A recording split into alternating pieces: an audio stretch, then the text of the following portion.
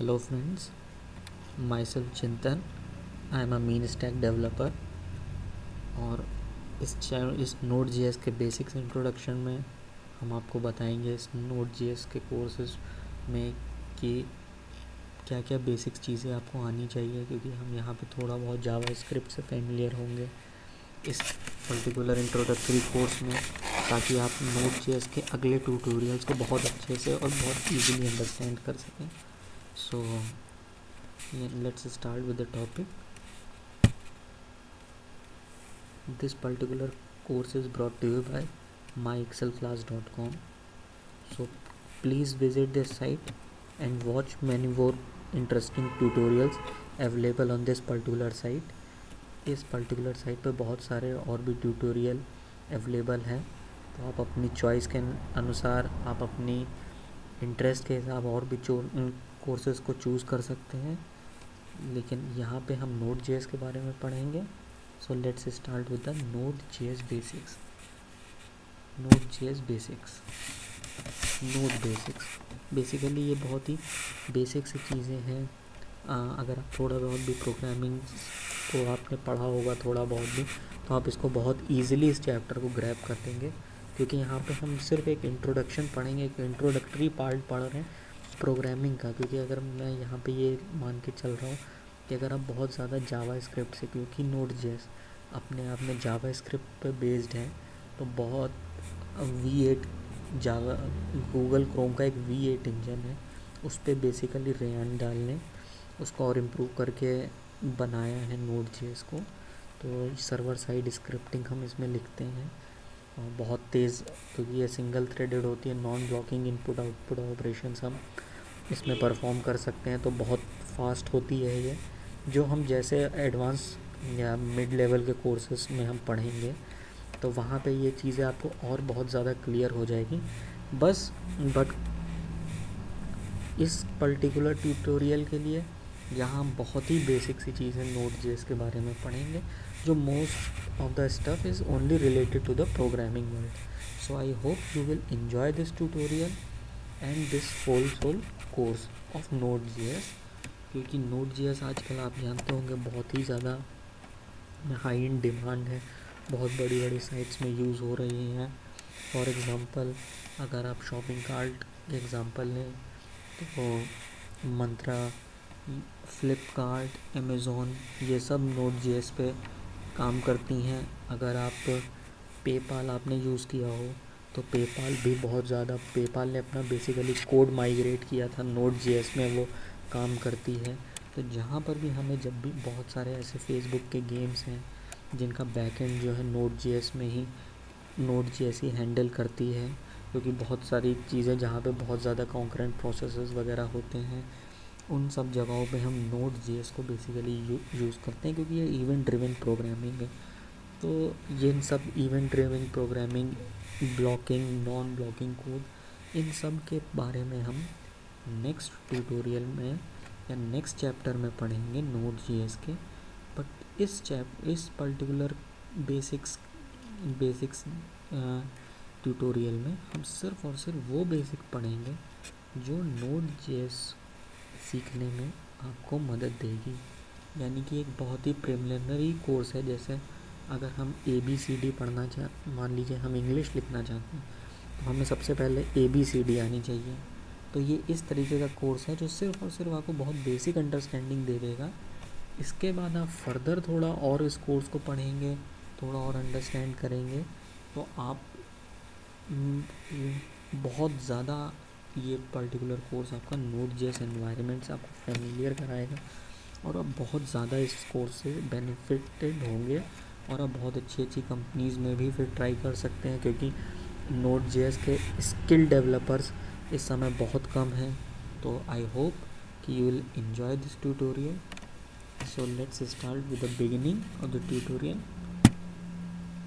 defining variables Node जैसा कि आप प्रोग्रामिंग में जानते होंगे, हम वेरिएबल्स डिफाइन करते हैं। वेरिएबल्स बेसिकली एक तरीके का अगर आप समझते हैं, एक तरीके का प्लेस होल्डर होता है जो किसी वैल्यू को कंटेन करता है अपने अंदर। और हम डिफरेंट डिफरेंट टाइप्स के डेटा टाइप्स हम इनके अंदर स्टोर कर सकते हैं किसी एक वेरिएबल में। अगर आप सी या सी प्लस प्लस आपने पढ़ी होगी तो आपको पता होगा there are too many different kinds of data types बहुत अलग अलग तरीके के डेटा टाइप्स होते हैं। जैसे for example string data type होता है न्यूमेरिक डेटा टाइप होता है बूलियन डेटा टाइप होता है एरे डेटा टाइप होता है और ऑब्जेक्ट्स भी कई बार डेटा टाइप्स में आते हैं। यहाँ पे हम तो अगर हम सी अगर या सी प्लस प्लस या जावा में अगर आप बात करें तो वहाँ पे हमें डिक्लेयर करना होता है कि हमारा वेरिएबल का टाइप क्या है। यानी कि जो हमारा प्लेस होल्डर है, जिसे हम वेरिएबल कहते हैं, वो किस टाइप का डेटा अपने अंदर कंटेन कर सकता है। यानी कि हम इसको ऐसे समझ सकते हैं कि अगर एक फ़िक्स टाइप का हमें कंटेनर डिफ़ाइन करना होगा कि इस पर्टिकुलर कंटेनर में क्या चीज़ें जाएँगी, क्या हम वैल्यू स्टोर करा सकते हैं वेरिएबल्स इनको हम प्रोग्रामिंग में कहते हैं। जैसे कि यहाँ पे मैंने डिफ़ाइन कर रखा है var age equals to twenty nine तो जैसे कि आप ये देख रहे हैं कि ट्वेंटी नाइन एक नंबर है। अगर हम सी या सी प्लस प्लस पढ़ रहे होते हैं या जावा पढ़ रहे होते हैं तो हमें यहाँ पे पहले हमें देना पड़ता int age equal to twenty nine जो ये डिक्लेयर करता कि ये एक इंटीजर टाइप का डेटा टाइप है। इंटीजर्स मुझे लगता है आप लोगों को मालूम ही होंगे, जैसे वन टू थ्री फोर और डबल्स बेसिकली हम उन, या फ्लोट्स हम उनको बोलते हैं, जो डेसिमल वैल्यू को कंटेन करते हैं। जैसे कि twenty four point three four zero point nine nine ये सारी फ्लोट वैल्यूज़ हैं। और जो इंटीजर्स होते हैं, वो प्योर न्यूमरल्स होते हैं without decimals so I hope age जैसा कि एक एज एक न्यू नंबर होता है, वो कभी इंटीजर या फ्रैक्शन में नहीं होता। तो यहाँ पे मैंने बताया कि एक वेरिएबल एज है, जो फॉर एग्ज़ाम्पल मेरी एज जैसे twenty nine let's say my age is twenty nine तो मैंने अपनी यहाँ पे ए डिफाइन कर ली। Var name equal to Chintan जैसा कि मैंने आपको बताया भी था कि different different kind of data type होते हैं। तो अब आप ये देखिए कि यहाँ पे मैंने एक स्ट्रिंग डिफाइन करी है। स्ट्रिंग बेसिकली हम या तो सिंगल कोट्स में डिफाइन करते हैं या डबल कोट्स में डिफाइन करते हैं। इस तरीके से। लेकिन ये इनवैलिड होगा। यानी एक सिंगल और एक डबल या फिर एक डबल या फिर एक सिंगल या तो वो दोनों ही, अगर हमें स्ट्रिंग टाइप का डेटा टाइप डिफाइन करना है, जबकि जावा स्क्रिप्ट में हम कभी भी डेटा का टाइप नहीं डिफाइन करते हैं। हम सिर्फ़ वेरिएबल का नाम वेर कीवर्ड से, जैसे कि अगर आप यहाँ पे देख रहे हो हम सिर्फ़ सारे एग्जांपल में हमने वेर लगा दिए हैं। ये थोड़ा टाइप हो गया मुझे लग रहा है, ये शॉर्ट में होता है। तो जैसा कि अब यहाँ पे हम, यहाँ पे थे, मैंने अपना नाम चिंतन यहाँ पे लिखा हुआ है। अब आप देख सकते हैं कि name type of data type यहाँ पे स्ट्रिंग डेटा टाइप इसको भी हम सिंपल नेम वेर से डिनोट कर सकते हैं। फिर आप नेक्स्ट देखते हैं मेल यहाँ मैंने जेंडर डिफाइन कर दिया है। अगर मैं ये करता, मान लीजिए मुझे स्ट्रिंग में, यहाँ पे मैं सिर्फ़ ये चेक करा रहा हूँ कि मेल है या फीमेल है। मेल है तो ट्रू है फीमेल है तो फॉल्स हो गया। तो फिर यहाँ पे, या फिर अगर हम स्ट्रिंग टाइप का अगर हम इसको सेव करना होना चाहते हैं तो हम इसको कुछ इस तरीके से सेव करा सकते थे कि जेंडर इक्वल टू मेल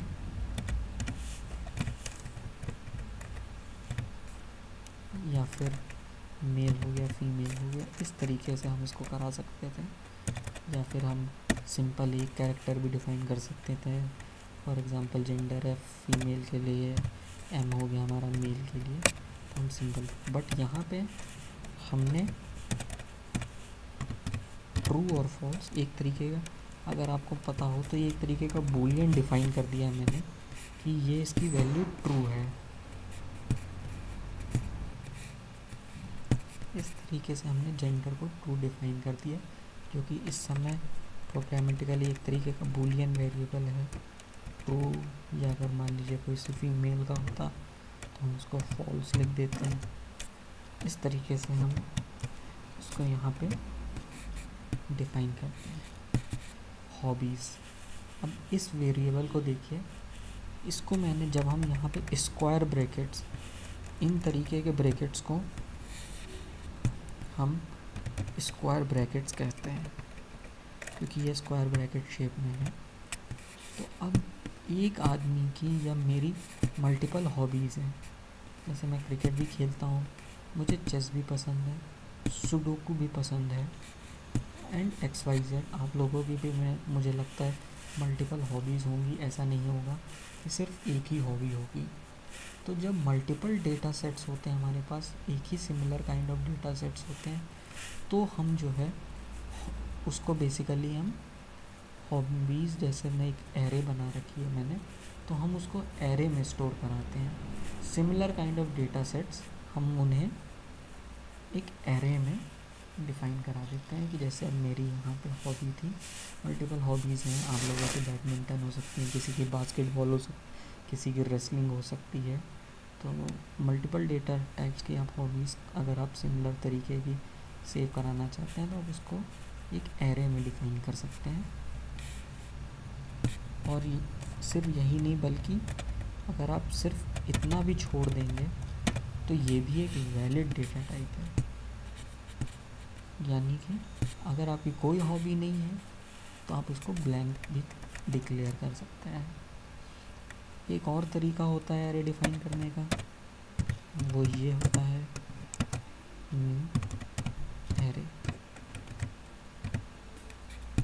इस तरीके से भी हम जावा स्क्रिप्ट में एरे को डिफाइन करते हैं। बट यहाँ पे मैं आप लोगों को यही सजेशन दूँगा इस पॉइंट पे कि इस पर्टिकुलर चीज़ का आप लोग बहुत कम ही यूज़ किया करिए, क्योंकि जब आपको पता हो कि आप किस तरीके से कर रहे यूज़ कर रहे हैं या किस तरीके से, क्योंकि इसका सबसे बड़ा जो ड्रॉबैक है, वो ये होता है कि जब हम इनिशियलाइज करते हैं तो ये बेसिकली एक ऑब्जेक्ट तरीके का हमारा डेटा टाइप है।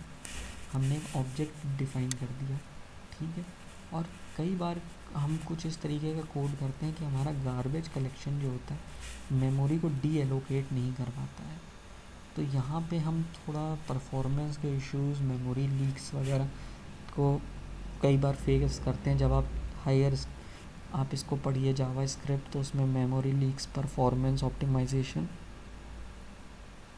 ये सारे टॉपिक क्लियर होते हैं। बट अभी के लिए आप ये समझ लीजिए कि आप इस तरीके से स्क्वायर ब्रैकेट्स का, जहाँ जहाँ तक हो सके, आप स्क्वायर ब्रैकेट्स में ही डेटा को सेव करें। नेक्स्ट है, ये बहुत आपको समझने की ज़रूरत है, बहुत ध्यान से समझिएगा, ये एक नए तरीके का डेटाबेस है।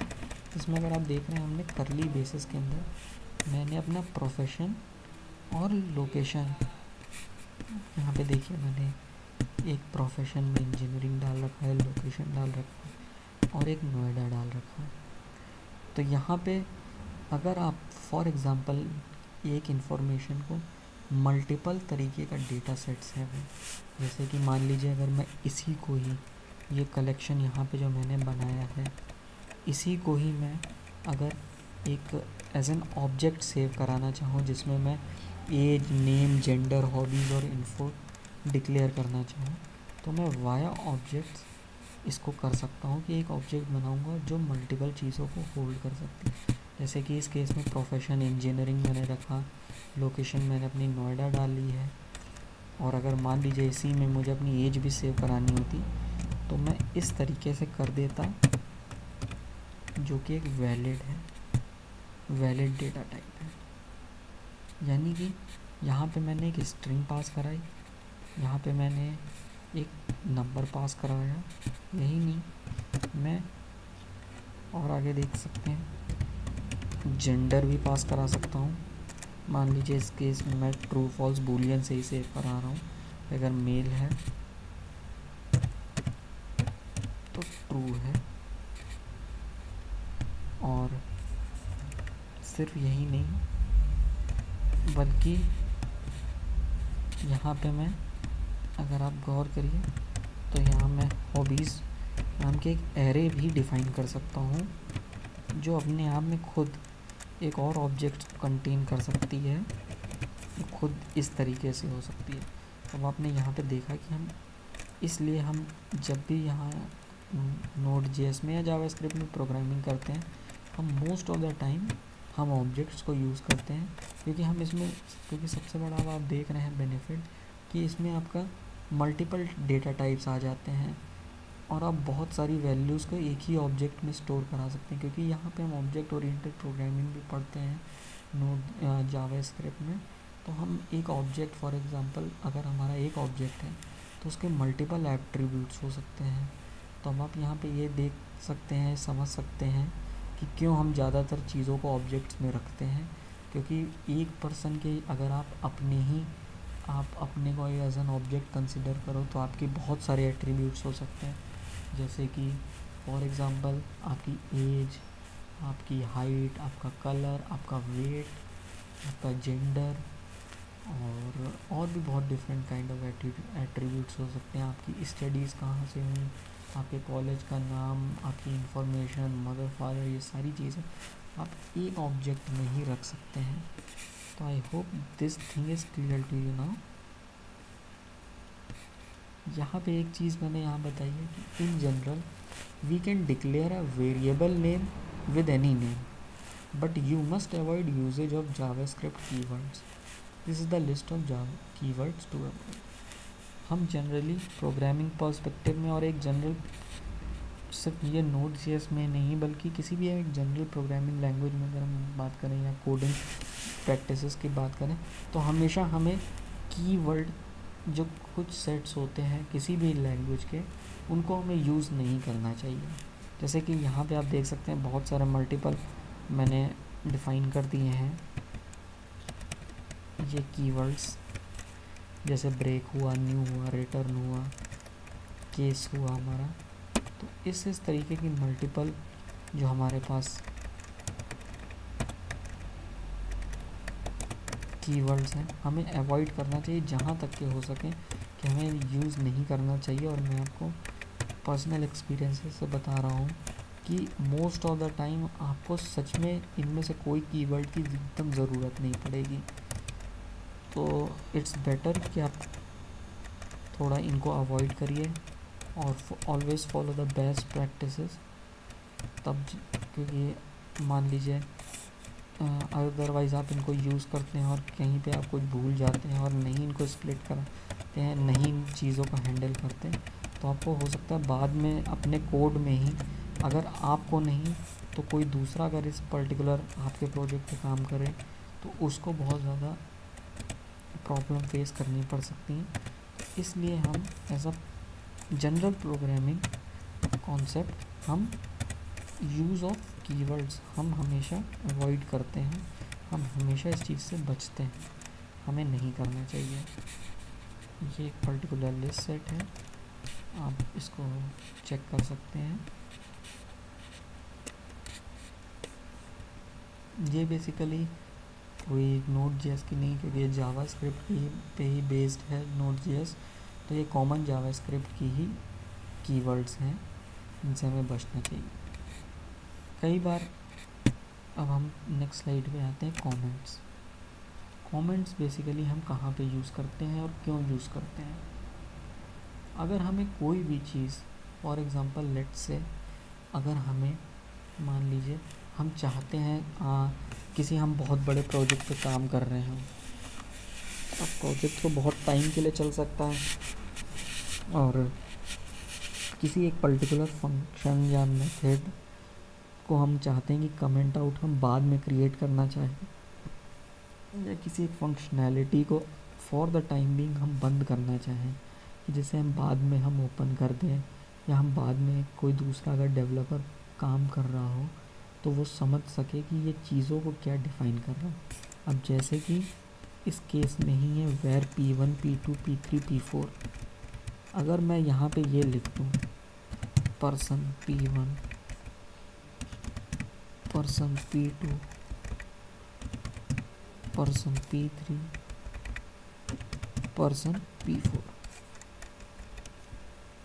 तो इनसे आप एक गैस नहीं लगा सकते हैं ये कि basically person name one two three four क्या हो सकता है। ये पर्सन का पूरा का पूरा एक ऑब्जेक्ट भी स्टोर कर सकते हैं वेरिएबल्स या ये रिफ़र कर सकते हैं सिंपल नेम को या पर्सन की एज को। अगर हमारा नेम हो तो हम कुछ इस तरीके से लिखेंगे। Person name. Person name. Person यहाँ पे एक चीज़ मैं बस आप लोगों को बताना चाहूँगा एक एक्सपीरियंस शेयर करना चाहूँगा कि इस तरीके की ने, नेम स्पेसिंग को हम जनरली कैमल केसिंग कहते हैं कि कैमल केस में हमें लिखना यानी सबसे पहला जब वेरिएबल वेर से जस्ट बाद वाला जो रहेगा, सबसे पहला वर्ड जो होगा वो हमेशा स्मॉल में होगा और नेक्स्ट कमिंग हमेशा कैपिटल में होंगे।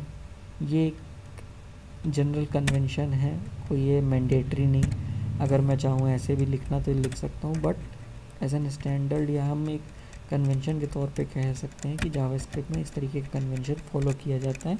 कैमल केसिंग स्पेसिंग हम इसको बोलते हैं। हम यहाँ पे देख सकते हैं कि हमने person name one person name two person name four रखा। मल्टीपल पर्सन नेम्स रखे हैं। बट अगर हम पर्सन नेम तो देखें, कहाँ हमारा पी वन था इनिशियली हमारा। एक तो हमने इतना सारा लिख दिया। और ये सिर्फ़ एक तरीके के प्लेस होल्डर्स हैं। कमेंट्स हमें यहाँ पे बेनिफिट कर सकते हैं कि अगर इस पर्टिकुलर लाइन के डिक्लेरेशन से पहले जस्ट हम अगर ये डिक्लेयर कर दें कि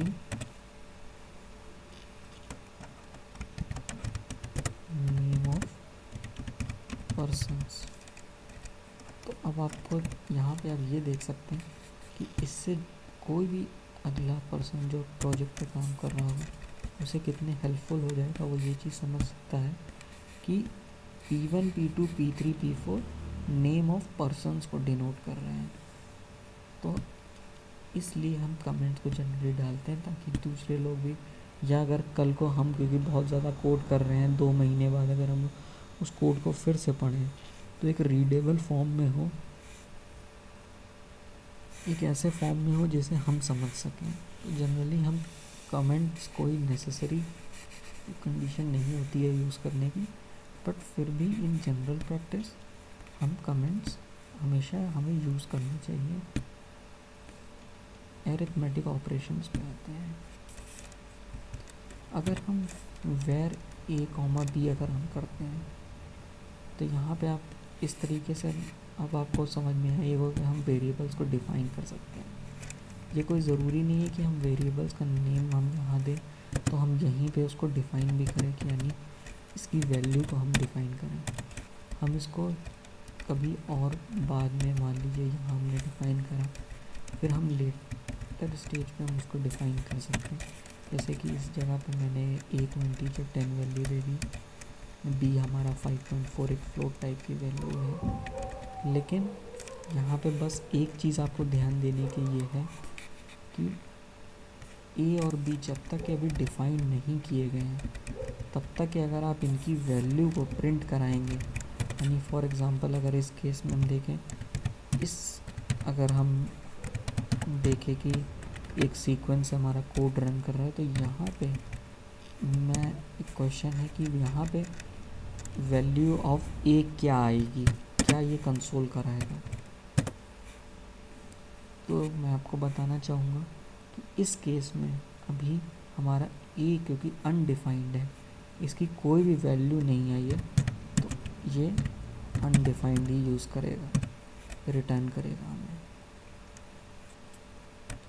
तो यहाँ पे इसलिए जनरल प्रैक्टिस में अगर हम कभी ऐसे करते हैं तो हमें वहीं के वैल्यू वैल्यू हम डिफ़ाइन भी कर देते हैं।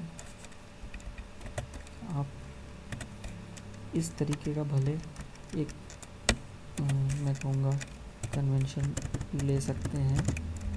अगर आपको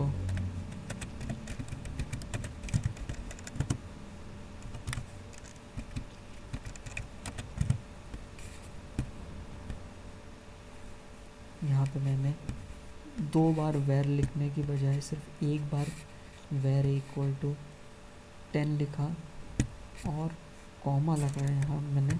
सेमी कॉलन नहीं लगाया है, बल्कि यहाँ पे मैंने कॉमा लगाया तो इसके बाद अगर हम कॉमा लगाएँगे तो ये ऑटोमेटिक वैर ले लेगा। हमें फिर से वैर लिखने की ज़रूरत नहीं है। तो यहाँ पे आपने ये चीज़ देखी। इस तरीके से भी आप इसको यूज़ कर सकते हैं बट फॉर द टाइम भी अभी मैं सिर्फ़ और सिर्फ़ इसको वेर एक कॉमा बी रखता हूँ फिर हमने यहाँ later the later stage of our code हमने ए और बी की वैल्यू को डिफाइन कर दिया। मल्टीपल ऑपरेशंस हम इन परफॉर्म कर सकते हैं, जैसे कि एडिशन एडिशन आप लोगों को पता ही होगा। मान लीजिए अगर हम इसको कराना चाहें ए की वैल्यू हमारी टेन है बी की वैल्यू फाइव है तो यहाँ पे हमारा फिफ्टीन कॉन्सोल हो जाएगा? अगर हम सब्ट्रैक्शन फॉलो करना चाहें ए माइनस बी करना चाहें तो ए माइनस बी हो जाएगा। इसे हम सब्ट्रैक्शन करते हैं। कंसोल डॉट लॉग बेसिकली ये बहुत ज़्यादा यूज़ होगा प्रिंट कराने का आप एक तरीके से। कंसोल में आप समझ सकते हैं कि अगर हमें आउटपुट देखना है तो हम कंसोल डॉट लॉग कराएँगे। अगर हम प्योर जावा स्क्रिप्ट की बात करते हैं तो वहाँ पे जनरली होता है document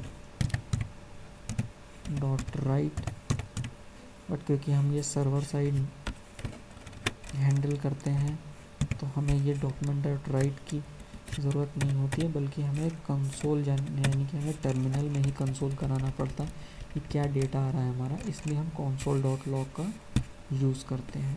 So I hope this is understandable to you now for the time being. Let's let's move on to the next slide. That is multiplication में आप ये देख सकते हैं कि मैंने ए और बी नाम के दो वेरिएबल रखे हैं और उन्हें सी में मैंने डिक्लेयर कर दिया वो भी मल्टीप्लिकेशन आप लोग मैथमेटिक्स से थोड़ा बहुत बेसिक मैथमेटिक्स जानते ही होंगे। तो प्लस बेसिक जो ऑपरेशंस होते हैं एडिशन सब्ट्रैक्शन मल्टीप्लिकेशन डिवीज़न ये फॉलो करता है। एक और ऑपरेशन यहाँ पे मैं बताना चाहूँगा, आप लोगों से डिस्कस करना चाहूँगा। जो मोस्ट ऑफ़ द प्रोग्रामिंग में आपको मोस्ट ऑफ़ द टाइम आपको यूज़ आता है, वो उसको हम कहते हैं मॉड्यूलो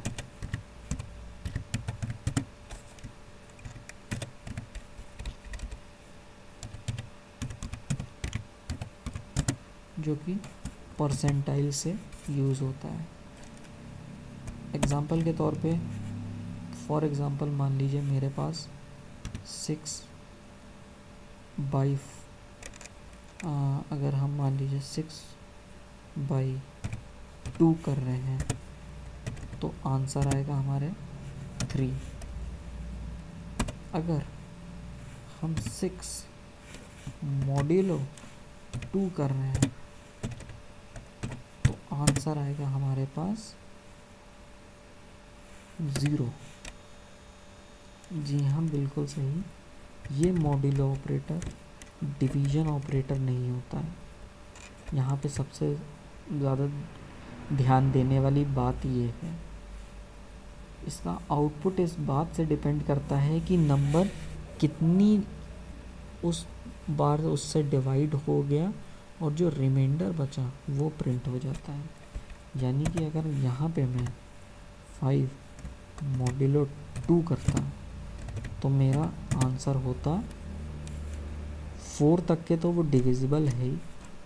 रेस्ट रिमाइंडर क्या बचता वन अगर हमारा सेवन मॉड्यूलो फोर है तो हमारा आंसर होगा थ्री तो जो भी रिमाइंडर होगा हमारा, वो बचता है। अगर यहाँ पे एट होता पूरा का पूरा डिविजिबल है कोई रिमाइंडर नहीं बचा ज़ीरो तो ये एक और ऑपरेशन है जो जनरली हम एरिथमेटिक ऑपरेशंस में या हम कैलकुलेशन में अपने यूज़ करना चाह करते हैं।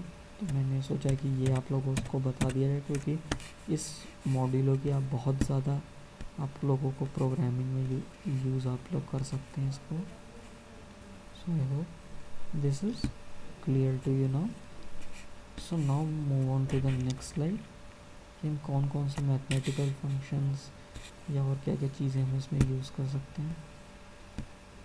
जैसे कि आप यहाँ पे देख रहे हैं, मैंने एक वेर है मैं वेर भी ले लिया। ये सिर्फ़ डमी वैल्यूज़ हैं, आप इनको कुछ भी ले सकते हैं।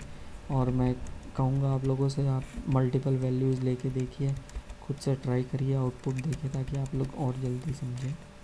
तो ये ये वो सारी चीज़ें हैं। जैसे हम, मैंने साइन ए। हम cos max S Q R T square root को हमारे डिफ़ाइन करता है। तो अब यहाँ ये सारे मेथड्स हैं जो कि मैथ क्लास के अंदर डिफ़ाइन किए गए हैं। तो यहाँ पे अगर हम कोई भी मैथमेटिकल अगर मेथड यूज़ कर रहे हैं, साइन कॉस तो हम डायरेक्टली इसको इस तरीके से नहीं यूज़ कर सकते। हमें मैथ क्लास जो कि बाय डिफ़ॉल्ट ही लोडेड ऑलरेडी लोडेड लाइब्रेरी है जावा स्क्रिप्ट के अंदर। उसको हम यूज़ कर सकते हैं। उसके आप देख सकते हैं, मैंने साइन कॉस मेथड यूज़ करा, एक मैक्स यूज़ करा। स्क्वायर रूट स्क्वायर रूट आपको मालूम नहीं होगा, जैसे फोर का स्क्वायर रूट टू हुआ, हमारा टू का square root one point four one four हुआ। तो इस तरीके से ये वैल्यूज़ को मैथमेटिकल ऑपरेटर्स हमारे रिटर्न करते हैं। जो कि ऑलरेडी जावा स्क्रिप्ट में या नोट जेस में अवेलेबल हैं। Comparison operators comparison operator basically compare करेंगे हमारी दो वैल्यूज़ को। इस केस में जैसे हमारी ए और बी ए हमारा फाइव है और बी हमारा एट है। तो अब हम यहाँ पे ए ये sign A is greater than B तो ये हमें रिटर्न करेगा। True no A is less than B so false return करेगा। इस वाले कंसोल में क्या आउटपुट आएगा? B is greater than A true इस ऑपरेटर में क्या आएगा हमारा? ए इज़ ग्रेटर देन और इक्वल टू बी फॉल्स इसमें B is greater than equal to B इसमें आएगा ट्रू यहाँ पे value A not equal to B true और A double equals to B false यहाँ पे एक चीज़ और मैं आप लोगों को बताना चाहूँगा।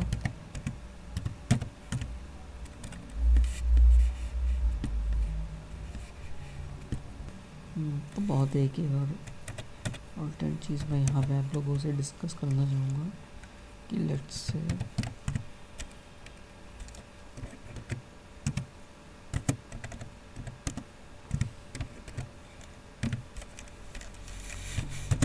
इस केस में स्मॉल केस होगा। इस केस में भी वैल्यू फॉल्स आएगी। बट यहाँ पे इसके और इसमें अगर आप डिफरेंस देखिए तो यहाँ पे डबल इक्वल्स टू है और यहाँ ट्रिपल इक्वल्स टू है। तो यहाँ पे सबसे ज़्यादा नोटिस करने वाली बात है यहाँ पे हमारी सिर्फ़ वैल्यू कंपेयर होती है।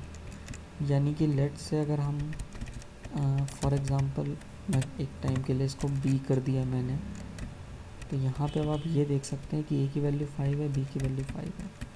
तो इस केस में तो वैल्यू और ये बी को मैंने इस तरीके से लिख दिया। एक फाइव मुझे एक स्ट्रिंग इस केस में तो ये ट्रू रिटर्न करेगा। बट इस केस में फॉल्स रिटर्न करेगा क्योंकि यहाँ पे वैल्यू के साथ उसका टाइप भी कंपेयर होता है। तो जैसे कि अब आप ये ए दे सकते हैं कि प्योर न्यूमेरिक वैल्यू है। बी दो, ये एक स्ट्रिंग टाइप है जिसकी वैल्यू जिसके अंदर हमने फाइव डिफाइन कर रखा है। बट ये एक स्ट्रिंग टाइप है कोल टाइप इसका स्ट्रिंग टाइप है। तो ये इस कंडीशन में फेल हो जाएगी, यानी कि फॉल्स रिटर्न करेगी। तो मैं यहाँ पे आप लोग जावा स्क्रिप्ट में अक्सर जो है हम टाइप भी चेक कराते हैं। तो it's a best and general practice जब भी आप वैल्यू कंपेयर करिए, हमेशा उसकी टाइप को भी कंपेयर कर लीजिए ताकि आपको पता चले कि सेम डेटा टाइप आ रहा है। So I hope this thing is comparison operators is clear to you now यहाँ पे मैं इसको फिर से रीडू अनडू कर देता हूँ। इसकी प्रीवियस स्टेट पे ले आता हूँ।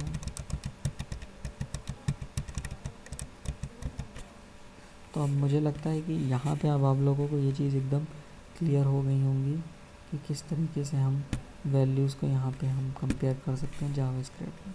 सो so, अब मुझे लगता है नेक्स्ट स्लाइड पे चलना चाहिए यानी कि logical operators logical operators basically क्या होते हैं? लॉजिकल ऑपरेटर्स अगर आप लोग ने गेट्स पढ़े हो and gate or gate not gate तो बेसिकली कंप्यूटर्स में या स्विचिंग थ्योरी में अगर आप लोगों ने एडवांस टेक्निकल कोर्सेज लिए हों तो आप लोगों को मुझे लगता है ये गेट्स क्या होते हैं ये पता होंगे। तो अब आप इनको इसी तरीके से समझ सकते हैं। कि ये ट्रू और फॉल्स में ही रिटर्न करते हैं।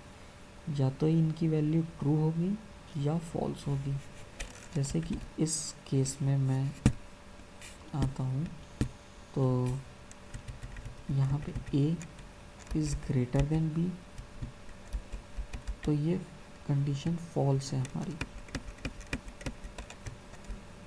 तो ये फॉल्स रिटर्न करेगा हमारा यहाँ पे।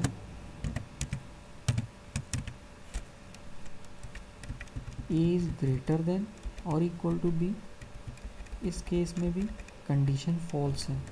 बट क्योंकि इसके साथ नॉट लग गया तो ये फॉल्स को ट्रू कर देगा। तो इस केस में हमें जो आंसर रिटर्न होगा, वो ट्रू रिटर्न होगा। यहाँ पे ए इक्वल्स टू बी तो यहाँ पे कंडीशन क्या ए बी के बराबर है? तो डेफिनेटली नहीं है। और कंडीशन तो वो नेक्स्ट कंडीशन को चेक करेगा कि क्या a से बड़ा है। तो यहाँ पे आंसर आ जाएगा हमारे पास। False plus false to false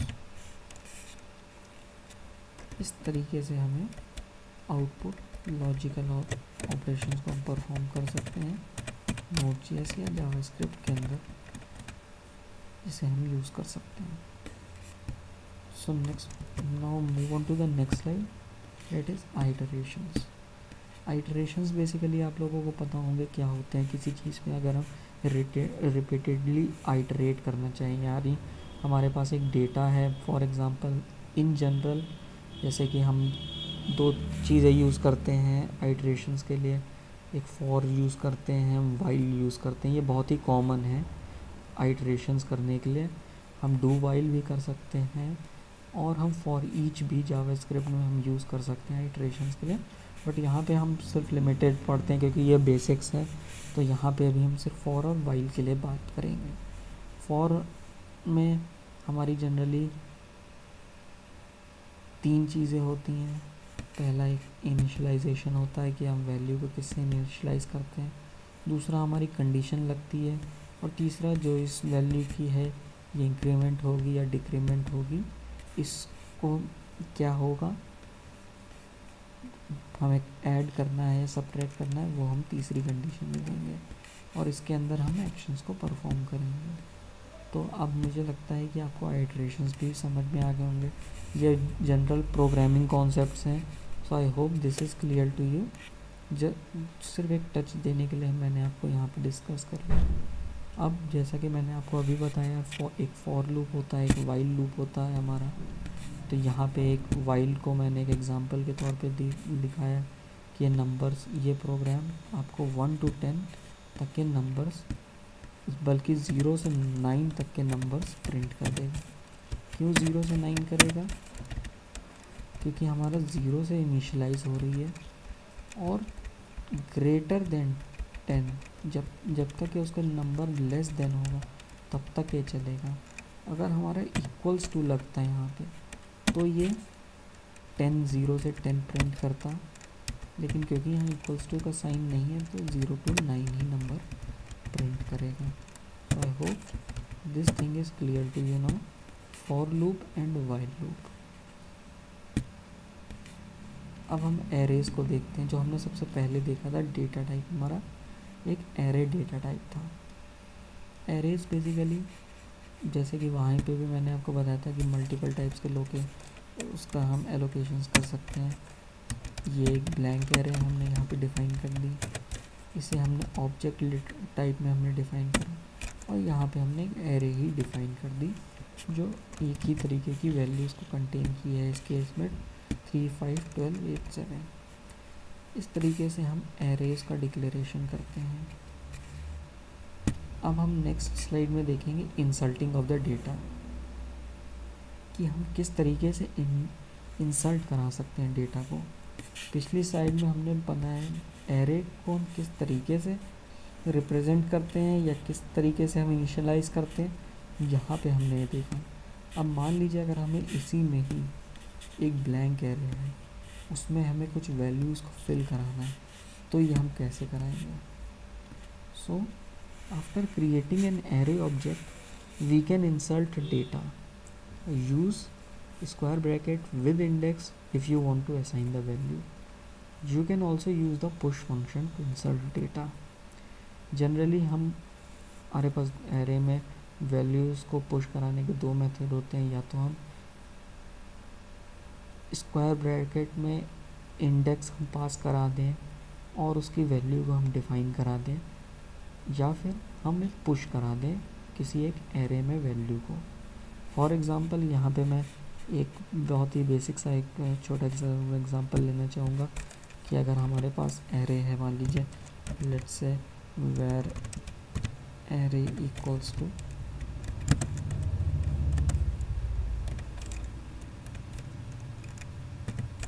to. ये एक ब्लैंक एरे अब मुझमें मुझे इसमें एक वैल्यू को इंसर्ट कराना है। तो मैं इसको इस तरीके से कर देता हूँ। Array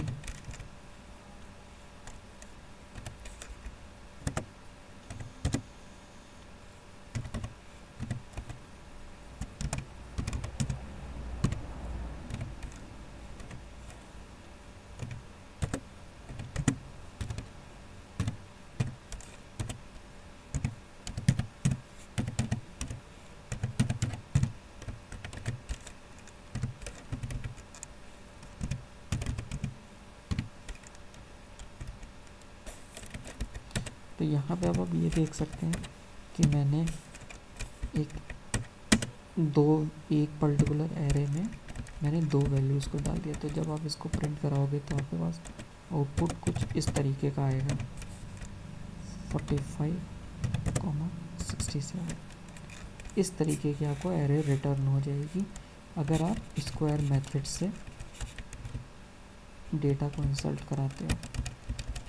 अगर आप अब हम यहाँ पे नेक्स्ट एग्जांपल में हम देखेंगे पुश का केस क्या है? हम पुश को कैसे यूज़ कर सकते हैं। इस केस में मान लीजिए मेरे पास वेयर इस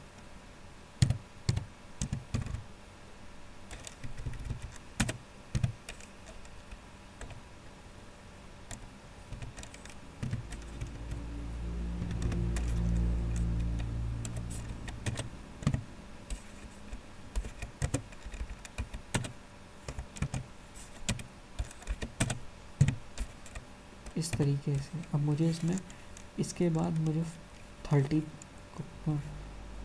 वैल्यू एक और इसी एरे में इंसर्ट करानी तो या तो हम इसको एक तरीका है, जो जैसे हमने पिछला तरीका देखा कि हम इसको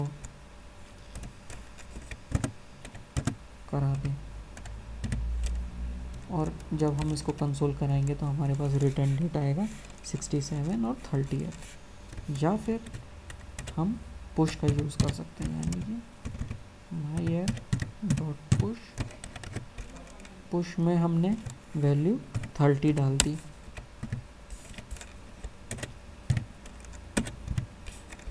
इस तरीके से हम डेटा को इंसल्ट कराते हैं किसी भी एक एरे में। सो आई होप आपको एरे डिक्लेरेशन इस तीन तरीके से हम एरे को डिक्लेयर कर सकते हैं। इस तरीके से हम डेटा को इंसर्ट कर सकते हैं किसी भी एक एरे में?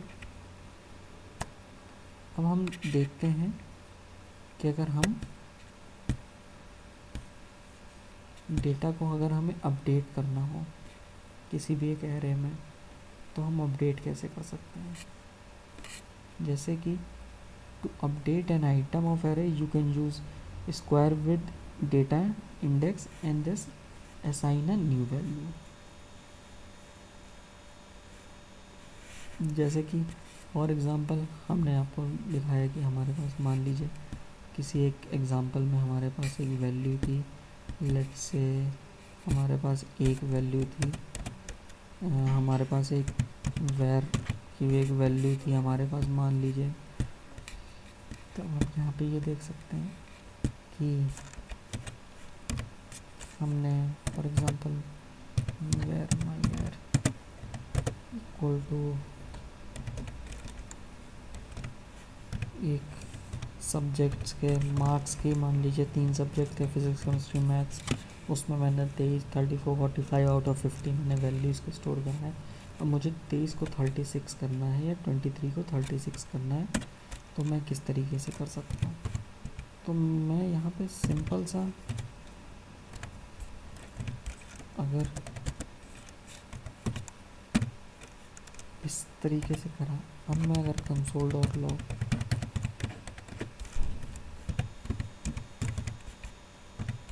ऐड कराऊँगा मुझे जो एरे रिटर्न होगा।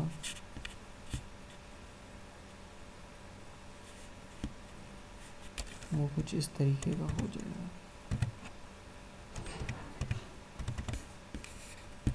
सो आई होप आपको अब किस तरीके से अपडेट कर सकते हैं। वैल्यू की अपडेशन भी अब आप लोगों को क्लियर हो गई कि किस तरीके से हम वैल्यू को अपडेट कर पाएँगे। इस इंट्रोडक्टरी कोर्स में हमने सिर्फ़ बहुत ही बेसिक से चीज़ों को हम पढ़ रहे हैं, जो अगर आप थोड़ा भी अपने भी लेवल से आप एफर्ट करें तो आपको बहुत आराम से समझ में आ जाएगा कि किस तरीके से चीज़ें वो हम जावा, ये प्योर जावा स्क्रिप्ट है, अभी हमने कोई भी ऐसी फैंसी चीज़ नहीं पढ़ी है। हमने पढ़ा कि कैसे हम उसको डिफ़ाइन करते हैं एरे को एरे को हम किस तरीके से एक्सेस करते हैं और किस तरीके से हम अपडेट कर सकते हैं उसको। लास्ट है कि अब हम, मान लीजिए हमें रिमूव करना हो किसी डेटा को। So you can use the pop function to remove data from the array if you want to remove data by specific index then you can use the splice function basically ये भी simple Java script है। इसमें हम pop का use करेंगे।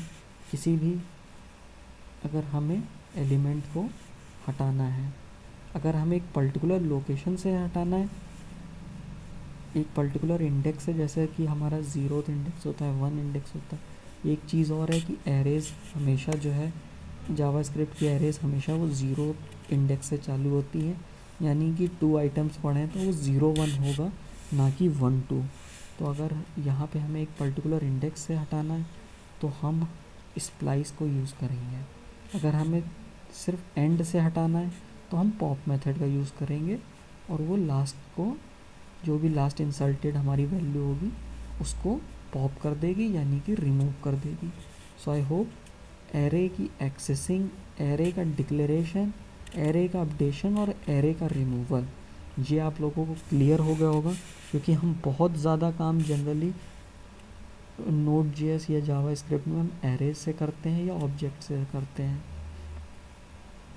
ये और एक जेसन टाइप का डेटा होता है, जिसे अब हम नेक्स्ट चैप्टर में पढ़ेंगे कि व्हाट एग्जैक्टली इज़ जेसन इसे हम बहुत ज़्यादा यूज़ करते हैं जावा स्क्रिप्ट में। सो एरेज आपको बहुत अच्छे से क्लियर हो जाने चाहिए कि एरेज बेसिकली क्या होते हैं, किस तरीके से हम एरेज को डिफ़ाइन कर सकते हैं, किस एरेज किस तरीके से हम एरे के नेमिंग करते हैं, किस तरीके का हमारा क्या कन्वेंशन है, मैंने बताया।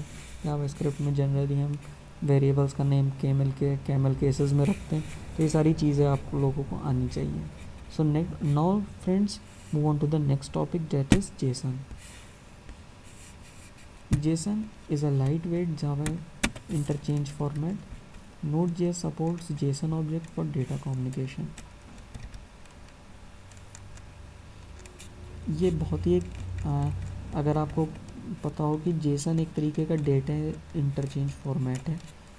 दो तरीके के और भी होते हैं बेसिकली जो सबसे ज़्यादा स्टैंडर्ड है यूसेज वाले होते हैं। एक एक एक्सएमएल फॉर्मेट होता है और एक दूसरा जेसन फॉर्मेट होता है। जेसन फॉर्मेट अब बहुत ही ज़्यादा पॉपुलर हो गया है, क्योंकि एक्सएमएल में हमें बहुत मल्टीपल लेवल के हमें जो है, एक तो बहुत नोड हमारी क्रिएट हो जाती थी तो वो काफ़ी रिडेंडेंट डेटा होता था। हमें फिर उसके अंदर भी हमें कुछ एट्रीब्यूट्स वगैरह डिफ़ाइन करने पड़ते थे। हमें पूरी की पूरी एक एक्सएमएल एक ट्री बन जाता था, उसको पास करना पड़ता था। बट जावा जब से जेसन आया है most of the companies and most of the products are using this particular format for data interchange for data communication so node J भी जेसन ऑब्जेक्ट्स को सपोर्ट करती है डेटा कम्युनिकेशन के लिए। सो so, अब हम देखेंगे नेक्स्ट चैप्टर में कि हम जेसन ऑब्जेक्ट क्रिएट कैसे कर सकते हैं कि how we can create an J A JSON object a JSON object in node JS uses curly braces syntax to declare the JSON data type for instance we have a JSON object called customer this object has the attribute name email age and registered D तो जैसा कि हमने आ, अगर आपको याद हो तो मैंने जो वेरिएबल्स वाला आपको बताया था वहाँ एक सबसे लास्ट वाला एक मैंने आपको बताया था आ, कि हम किस तरीके से डेटा को डिक्लेयर कर सकते हैं। ये यहाँ अगर आप देखें तो मैंने ये एक जेसन ऑब्जेक्ट मैंने बनाया है। मैंने उस समय बहुत ज़्यादा डिटेलिंग इसकी नहीं दी थी क्योंकि इसको ऐसा सेपरेट चैप्टर मैंने इंट्रोड्यूस किया। हम एरेज से अब फेमिलियर हो चुके हैं। अब लास्ट जो हमारा टारगेट है वो है जेसन ऑब्जेक्ट तो यहाँ पे प्लीज़ बहुत ध्यान से इस चैप्टर को समझिए, क्योंकि ये बहुत ही इंपॉर्टेंट चीज़ है। जेसन ऑब्जेक्ट्स हम किस तरीके से जेसन ऑब्जेक्ट्स को हम हैंडल करते हैं? अपने नोट जेस में, या फिर ये जावा स्क्रिप्ट में भी बहुत ज़्यादा ये टर्मिनोलॉजी जेसन ऑब्जेक्ट्स की यूज़ होती है। तो यहाँ पे प्लीज़ बहुत ध्यान से इसको देखिए कि जेसन ऑब्जेक्ट्स किस तरीके से होते हैं। अब मुझे लगता है ये आप लोगों को बहुत क्लियर हो गया होगा। For instance we have a JSON object call customer यहाँ पे मैंने एज एन एग्जांपल एक कस्टमर टाइप का जेसन ऑब्जेक्ट क्रिएट किया, जिसके कुछ सेट्स ऑफ़ एट्रीब्यूट हैं, जैसे नेम ईमेल एज और रजिस्टर्ड डेट कुछ ये तीन तुम जो है, वो प्रीवियस एग्जांपल से मैंने लिए। एक रजिस्टर्ड डेट है कस्टमर की, क्योंकि डेट बात कर रहा हूँ तो अब यहाँ पे हम देखें हम किस तरीके से जेसन ऑब्जेक्ट को क्रिएट कर सकते हैं। क्योंकि मैंने आपको वहाँ पे पहले एग्जांपल में बता दिया तो मुझे लग रहा है अब आप इस चीज़ से काफ़ी फेमिलियर हो गए होंगे कि बहुत ही सिंपल तरीके से हम इसको यूज़ कर सकते हैं। बस हमें curly braces name name Michael Z test Z और whatever you want Michael at the rate email dot com age thirty five registered date new date ये आप लोगों को पता ही होगा, ये करंट का टाइम स्टैम्प हमें करंट की डेट बेसिकली हमें रिटर्न कर देती है कि क्या डेट है इस समय। तो आई होप ये एक जावा स्क्रिप्ट का ही सिंटेक्स है डेट्स के लिए। आई थिंक इसमें तो आप लोगों को कोई इशू नहीं होना चाहिए। आ, ये जो न्यू डेट ऑब्जेक्ट है ये हमारा एक तरीके का ऑब्जेक्ट हमें रिटर्न करता है। जैसे कि फॉर एग्जांपल कुछ वो ऑब्जेक्ट इस तरीके का होगा डेट डेट एक ऑब्जेक्ट रिटर्न कर देगा थर्सडे आई टी काफ़ी सारी इन्फॉर्मेशन हमें देता है। तो ये एक सिंपल जावा स्क्रिप्ट का है but you should know these things one because you are dealing with JavaScript तो साइड बाय साइड आपको जावा स्क्रिप्ट भी आनी चाहिए। इस एग्ज इधर ये बहुत ही सिंपल तरीके का था। यहाँ पे मैंने थोड़ा और उसको बताया है कि सिर्फ़ एक जेसन अपने अंदर, एक और जेसन डेटा को भी इंसर्ट कर सकती है। ये नहीं है कि एक जैसन जैसन है।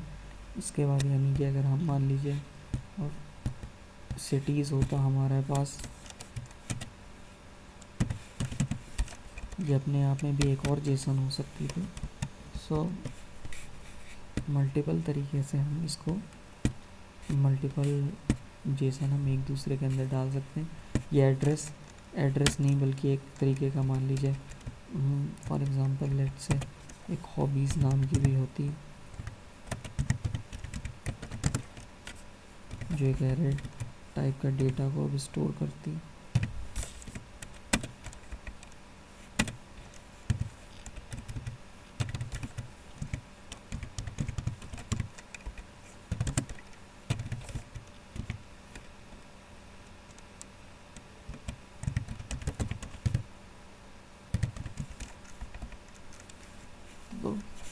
इस तरीके से भी हम जेसन डेटा को डिस्प्ले करा सकते हैं।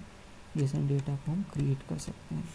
So I hope JSON data का क्रिएशन हम आप लोगों को समझ में आ गया होगा कि किस तरीके से हम जेसन के डेटा को क्रिएट कर सकते हैं। डिस्प्ले कराना हो displaying data after you have created the JSON object use use console dot log to see your dot हम सिंपल सा, क्योंकि हमने कस्टमर में हमने डिफ़ाइन किया था। अब अगर हमें अपने टर्मिनल में देखना हो कि कस्टमर क्या वैल्यू होल्ड करता है डिस्प्ले कराना हो तो हम कंसोल डॉट लॉग कस्टमर करा देंगे। और ये एज इट इज़ ही पूरा हमें जो है डेटा यहाँ से, यहाँ तक के प्रिंट करके दे देगा। So I hope displaying the data is also clear to you now. Another thing is accessing the data. As we know console.log can display all JSON attributes. If you want to get a step specific attribute of a JSON object, then you can call the attribute name directly. For instance, we can use the customer object and display name, age and registered date. तो आप यहाँ पे सिर्फ अगर आप देखने वाली बात ये है so in accessing data as you know console.log can display all JSON attributes if you want to get a specific attribute of a JSON object then you can call the attribute name directly for instance we can use the customer object and display name email age and register date तो अब आप ये देख सकते हैं कि हमने सो so generally अगर हमें एक्सेस किसी एक जेसन ऑब्जेक्ट को करना हो तो मोस्ट ऑफ़ द केसेस हम उस वेरिएबल का नाम डॉट प्रॉपर्टी का नेम जिसे हमें एक्सेस करना यूज़ करते हैं जैसे कि अगर हमें ये एग्ज़ाम्पल देखिए। हमारा कस्टमर का नेम और डॉट नेम हमने उसको एक्सेस कर लिया। ईमेल है तो हमारा ईमेल है। डॉट से हमने एक्सेस कर लिया। एज है तो हमने डॉट से एक्सेस कर लिया। रजिस्टर्ड डेट है तो कस्टमर डॉट रजिस्टर्ड डेट अगर हमें फर्दर इसके अंदर, हमारी एक जेसन के अंदर एक और जेसन होती है हमें पार्स करना होता तो वो हम उसमें X Y Z for example मान लीजिए एज के बाद एक्स वाई जेड नाम से एक और थी। उसके और उसके अंदर की एक और हमें एक और ऑब्जेक्ट था जो कि टॉप नाम से था। इस तरीके से डॉट डॉट करके हम उसको एक्सेस कर सकते हैं। तो काफ़ी इजी हो जाता है हमें जेसन में डेटा को स्टोर कराना एक्सेस करना। अब ये देख सकते हैं एक्स एम होता। तो हमें बार बार नोट्स में हमें ट्रैवर्स करना पड़ता। बट यहाँ पे हम सिंपल डॉट से ही हम एक्सेस कर ले रहे हैं। अगर हमें एडिटिंग करनी हो, मान लीजिए किसी डेटा की, जैसे इस में ही है, मैंने एक माई जेसन नाम से एक वेरिएबल लिया एक जेसन ऑब्जेक्ट लिया है, जिसकी आई डी टू है नेम जैक्सन है ईमेल है test at the rate test host dot com अब मैंने इसको कंसोल कराया तो ये एज इट इज़ इसने हम मुझे जेसन ऑब्जेक्ट रिटर्न कर दिया अब मुझे मान लीजिए इसमें कंट्री नाम से एक और प्रॉपर्टी जोड़नी है। तो मैंने माई जेसन में जाके कंट्री जैसा कि हमने एरे में हम ज्वाइन कर देते हैं, एक स्क्वायर ब्रैकेट और इंडेक्स हम डिफाइन कर देते हैं।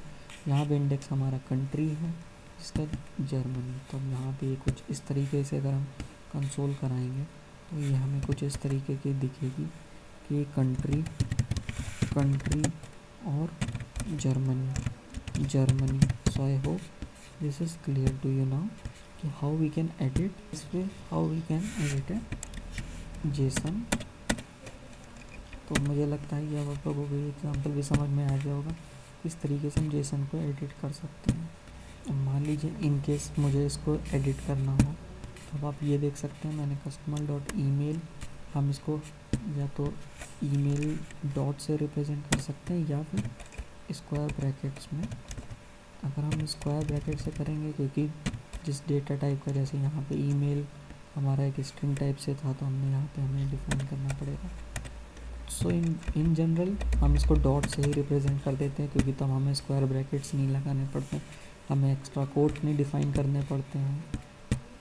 तो आपने यहाँ पे देखा कि किस तरीके से हम जेसन को एडिट कर सकते हैं। JSON array now we want to combine the json and collection this means we create a collection of json objects to illustrate the json array we create a product transaction object is consist of transaction information and a list of purchase product.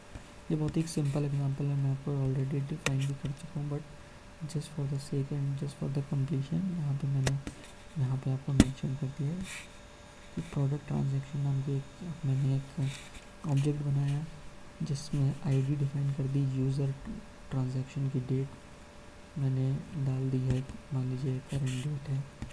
फिर एक details ली details हमारी एक array है, जिसके अंदर खुद ये simple array ना हो, एक एरे ऑफ़ ऑब्जेक्ट्स हैं। अब मान लीजिए मुझे इसमें से वैल्यू को फेच कराना तो हम किस तरीके से करेंगे? सो लेट सी अगर मुझे product transaction dot I D ये चीज़ मुझे रिटर्न करेगी product transaction dot I D यानी कि two product transaction dot user product transaction dot user ये अगस्त मुझे रिटर्न करेगा। अब transaction date product dot transaction date अब आप समझ ही गए होंगे कि product transaction dot transaction date मुझे नौ अगर ये डेट डॉट नौ होता तो ये आज की डेटा ऑब्जेक्ट मुझे रिटर्न कर देता। फिर डिटेल्स प्रोडक्ट डॉट डिटेल्स ये मुझे पूरी की पूरी एक एरे ऑफ़ ऑब्जेक्ट्स रिटर्न कर देगी, जिसके ऊपर अगर हम फिर फर्दर कोई चीज़ क्वेरी लगाना चाहें तो हम लगा सकते हैं। ये सबसे बहुत ही इम्पोर्टेंट थी, दो चीज़ें इसकी बहुत इम्पोर्टेंट थी। आप लोगों को, हम हम देखा, अगर मैं फर्दर इस ऑब्जेक्ट को करना चाहता मान लीजिए फॉर एग्ज़ाम्पल इसने मुझे एक एरे रिटर्न करा, मुझे ये नेम लेना है। तो इस एग्ज़ाम्पल में बहुत इजीली अब अगर आप देख सकते हो कि dot product dot transaction details को मैं कुछ इस तरीके से भी ले सकता हूँ।